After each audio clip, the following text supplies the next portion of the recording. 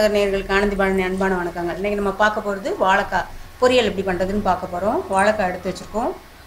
வெங்காயம் தாளிக்கிறதுக்கு வெங்காயம் கொஞ்சம் தேங்காய் துருவல் எடுத்து வச்சுருக்கோம். ஒரு பூண்டு ஒரு பச்சை மிளகாய் தட்டி வச்சுருக்கோம். ஸோ இப்போ வாழைக்காவை பொடியாக நம்ம தோல் சீவிட்டு பொடியாக நறுக்கிக்க போகிறோம் எப்பவும் போல் கடுகு உளுந்த பருப்பு பெருங்காயம் சேர்த்து இதை நம்ம வதக்கி விட போகிறோம் முதல் வாழைக்காயை நறுக்கிக்கலாம்.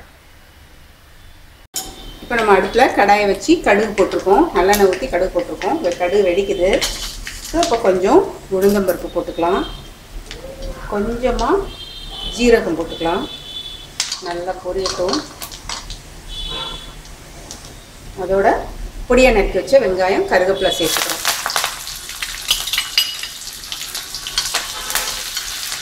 அதோட ஒரு பச்சை மிளகா ஒரு பூண்டு தட்டி வச்சதை இதில் சேர்த்துக்கிறோம் இது ஒரு நல்ல ஃப்ளேவர் கொடுக்கும். இந்த பச்சை மிளகாவும் பூண்டும் தட்டி போட்டிருக்கோம். நல்ல ஃப்ளேவர் கொடுக்கும். அதோட கொஞ்சம் பெருங்காயம் சேர்த்துக்கிறோம்.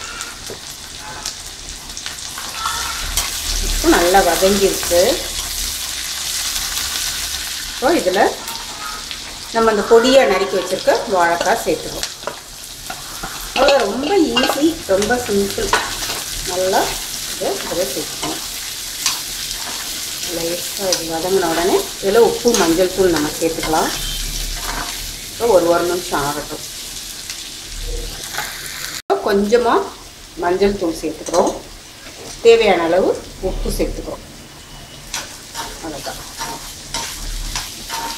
இது இந்த எண்ணெயிலேயே நல்லா வதங்கிடும் அப்படியே பரட்டி பரட்டி விடணும். ஒரு ரெண்டு நிமிஷத்துக்கு ஒரு நல்லா பரட்டி விட்டோம்னா இந்த எண்ணெயிலேயே நல்லா வதங்கிடும் இப்போ இது நல்லா வதங்கட்டும்.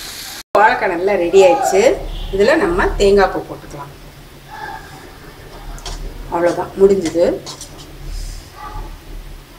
கொஞ்சம் தேங்காய் போட்டுக்கலாம்.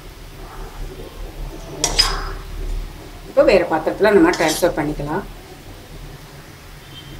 வாழைக்காய் பொரியல் ரெடி ஆயிடுச்சு. ரொம்ப ஈஸி குயிக்காக பண்ணிடலாம்.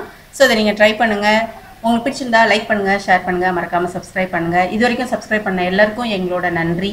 சப்ஸ்கிரைப் பண்ணாதவங்க மறக்காமல் சப்ஸ்கிரைப் பண்ணிக்கோங்க take care bye bye